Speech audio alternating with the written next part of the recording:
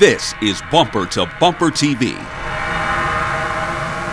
If you recently awoke from a decades long hibernation starting in the late 1970s, then the current design of full sized vans might come as a radical surprise. The Sprinter is Mercedes entering the large people and cargo hauler segment, and of course, they had to make theirs bigger than everyone else. Our test model was the 2500 series, so that means seating for a lot of folks, like 12 people including the driver. This is the kind of capacity that could be useful for the church choir.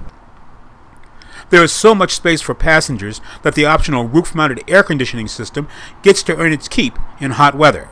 The seating position behind the wheel is another reminder that this is not a typical soccer mom offering.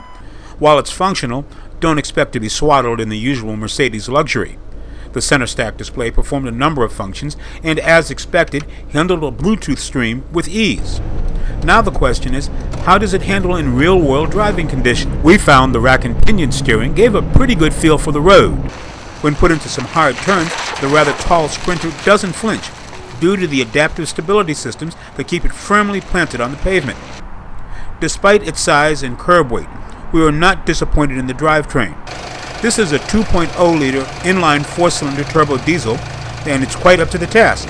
The official rating is 161 horsepower and 266 foot pounds of torque. While it won't win any land speed contest, the good news is a range of more than 600 miles on a full tank of fuel. A 7 speed G Tronic transmission used across the Mercedes lines finds a place here and shifts without effort. Back in the days when Mercedes and Chrysler were joined at the hip, the Sprinter platform became the basis for what is now a Ram Pro Series work truck.